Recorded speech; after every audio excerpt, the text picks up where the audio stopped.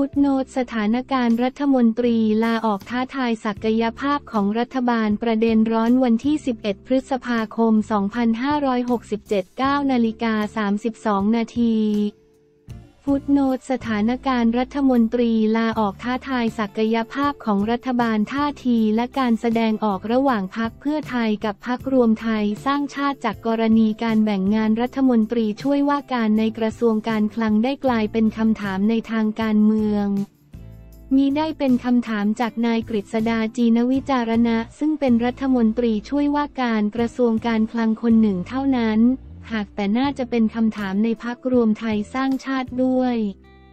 แม้ว่าด้านหลักพักเพื่อไทยยังให้เกียรติพักรวมไทยสร้างชาติโดยมิได้แตะไปยังตำแหน่งกระทรวงพลังงาน และตำแหน่งกระทรวงอุตสาหกรรมอันเป็นโควต้าหลัก กระนั้นเมื่อเป็นตำแหน่งรัฐมนตรีช่วยว่าการไม่ว่าจะเป็นตำแหน่งในกระทรวงการคลัง ไม่ว่าจะเป็นตำแหน่งในกระทรวงเกษตรและสหกรณ์ก็เป็นวิธีบริหารจัดการอันเป็นปัญหา สะท้อนให้เห็นเจตนาแท้จริงของพรรคเพื่อไทยที่จะยึดกลุ่มทิศทางการบริหารภายในกระทรวงการคลังให้ดำเนินไปเหมือนกับทิศทางของพรรคพลังประชารัฐในกระทรวงเกษตรและสหกรณ์ความแตกต่างในท่าทีและการตัดสินใจที่ปรากฏเมื่อมีการแบ่งงานภายในกระทรวงการคลังจึงก่อให้เกิดปัญหา สะท้อนระดับความสัมพันธ์ที่แตกต่างภายในของรัฐบาล หากเริ่มต้นจากความเป็นจริงที่พักรวมไทยสร้างชาติมีพลเอกประยุทธ์จันโอชาเป็นแคนดิเดต นายกรัฐมนตรีพักพลังประชารัฐมีพลเอกประวิทยวงสุวรรณเป็นแคนดิเดต นายกรัฐมนตรี เมื่อทั้งพักรวมไทยสร้างชาติและพักพลังประชารัฐล้วนมีคุณต่อการส่งให้แคนดิเดต นายกรัฐมนตรีพักเพื่อไทยสมหวัง การสร้างสายสัมพันธ์ต่อสองพักนี้ก็น่าจะเท่าเทียมกันคำถามก็คือทำไมยินยอมให้พักพลังประชารัฐบริหารจัดการภายในกระทรวงเกษตรและสหกรณ์ได้โดยเอกเทศ เป็นคนของพักพลังประชารัฐอย่างเบ็ดเสร็จ ไม่มีพักการเมืองอื่น และเมื่อตำแหน่งรัฐมนตรีช่วยว่าการกระทรวงการคลังคนหนึ่งมาจากพรรครวมไทยสร้างชาติ เหตุใดจึงแบ่งงานให้เหมือนกับต้องการกดดันคำถามและความสงสัยทั้งหมดนี้กำลังกลายเป็นปัญหาบ่งสะท้อนถึงความสัมพันธ์และความเท่าเทียมกันในรัฐบาล ปัญหาไม่ว่าจะมาจากการลาออกของรัฐมนตรีพักเพื่อไทย ไม่ว่าจะมาจากการลาออกของรัฐมนตรีพักรวมไทยสร้างชาติ เป็นปัญหาที่เกิดจากภายใน มิได้มาจากภายนอกเป็นปัญหาภายในของรัฐบาล เป็นปัญหาระหว่างการตัดสินใจของพรรคเพื่อไทย เป็นปัญหาอันเนื่องแต่การตัดสินใจของรัฐมนตรีพรรครวมไทยสร้างชาติ ความจัดเจนของพรรคเพื่อไทยที่สะสมตั้งแต่พรรคไทยรักไทยย่อมมีคำตอบว่าจะบริหารจัดการอย่างไรจึงราบรื่น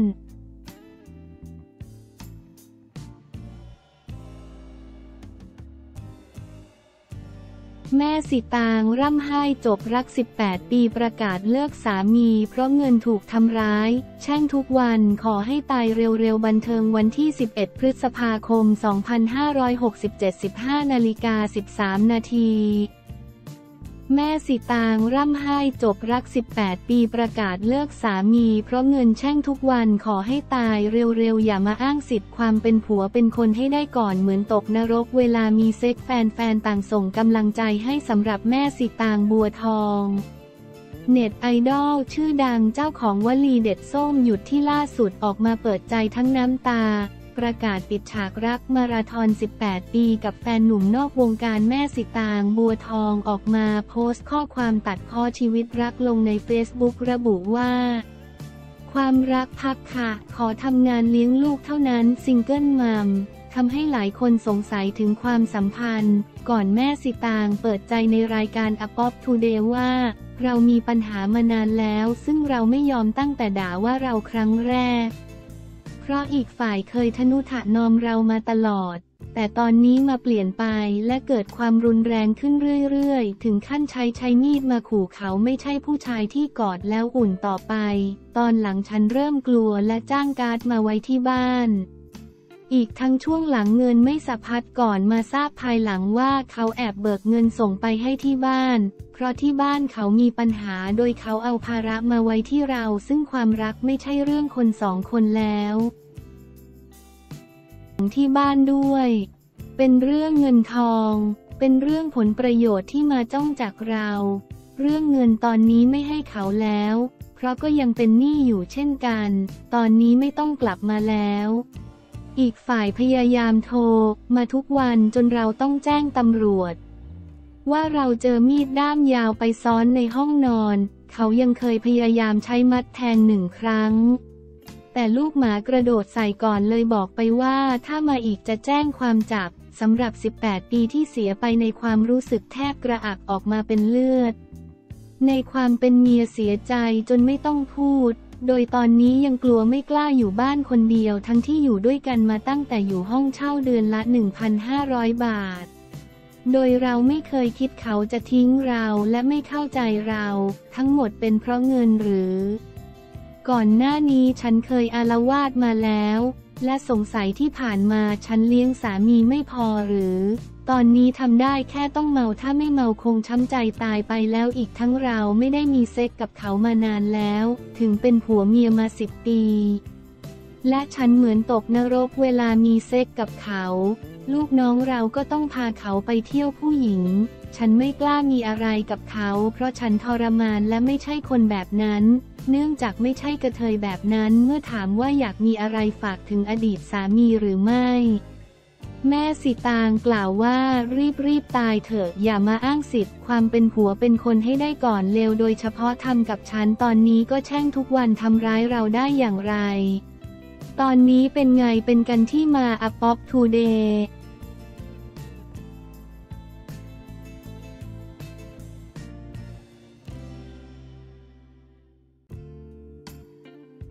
พาณิชย์ยันข้าวสิบปี ตรวจสอบโปร่งใสปรับปรุงคุณภาพก่อนให้ประมูลผู้ซื้อมั่นใจได้การเมืองวันที่ 10 พฤษภาคม 2567 13นาฬิกา 2 นาทีพาณิชย์ยันตรวจสอบข้าวสิบปี โปร่งใสตามมาตรฐานสากล เผยก่อนเปิดประมูลต้องปรับปรุงคุณภาพก่อน เชื่อผู้ซื้อมั่นใจร่วมประมูลวันที่ 10 พฤษภาคม 2567 นายวัฒนศักดิ์เสือเอี่ยมอธิบดีกรมการค้าภายใน เปิดเผยถึงการลงพื้นที่ร่วมกับนายภูมิธรรม เวชยชัย รองนายกรัฐมนตรีและรัฐมนตรีว่าการกระทรวงพาณิชย์ พร้อมผู้ประกอบการโรงสีข้าว ผู้ส่งออกข้าวถุงสื่อมวลชน และหน่วยงานที่เกี่ยวข้อง ตรวจสอบข้าวสารในสต็อกของรัฐบาลตามโครงการรับจำนำข้าวเปลือก ปีการผลิตเศษ 2,556 ส่วน 2,557 ที่จ.สุรินทร์เมื่อวันที่ 6 พฤษภาคมที่ผ่านมาว่าการตรวจสอบข้าวสารคงเหลือในสต็อกของรัฐบาล ตามบัญชีขององค์การคลังสินค้า อคส จำนวน 2 โกดังรวม 145,590 กระสอบน้ำหนัก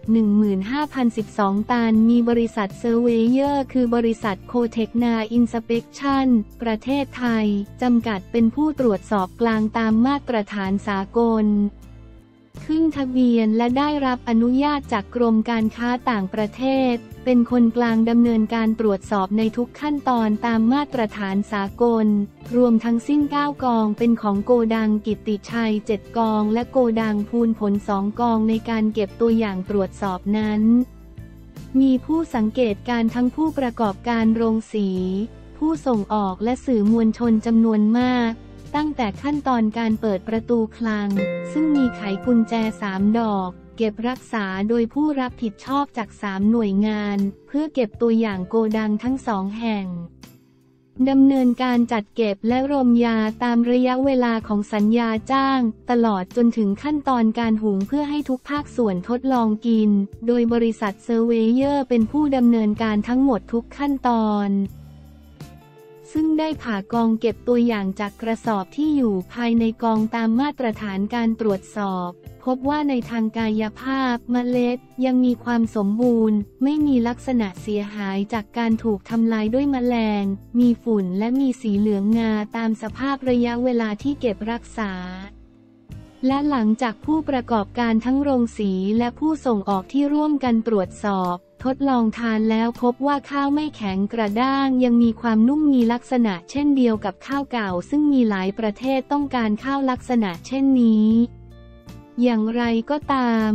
ปกติข้าวสารที่เก็บในคลังก่อนนำไปใช้เพื่อการบริโภคหรือส่งออก จะต้องนำไปปรับปรุงคุณภาพเพื่อให้ได้มาตรฐานด้านการค้าและสุขอนามัย ตามที่กำหนดมิใช่นำข้าวจากคลังที่เก็บไว้ไปจำหน่ายทันที ต้องปรับปรุงคุณภาพ